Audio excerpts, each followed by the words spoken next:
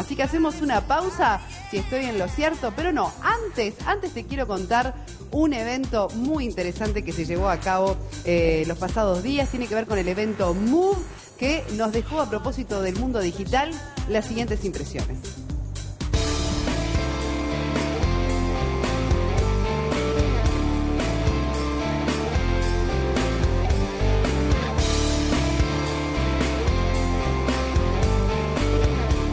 Estamos aquí en el Move, es un evento que ya es el cuarto año que organizamos de tres días, tiene innovación, emprendedores, gaming, es un componente que hemos incorporado.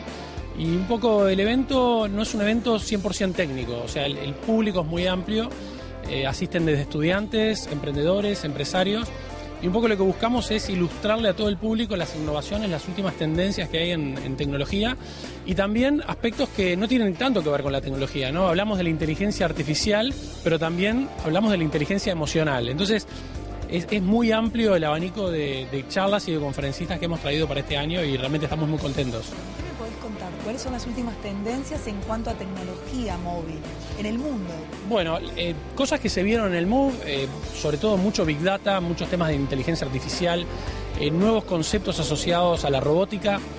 Pero además es interesante porque de los presentadores estuvo Jimmy Wales, que es el cofundador de Wikipedia, que es un sitio muy utilizado por todos y que bueno, nos contó un poco cómo la comunidad construye ese sitio. ¿no? Ese sitio es construido con las ideas y los comentarios de una comunidad enorme.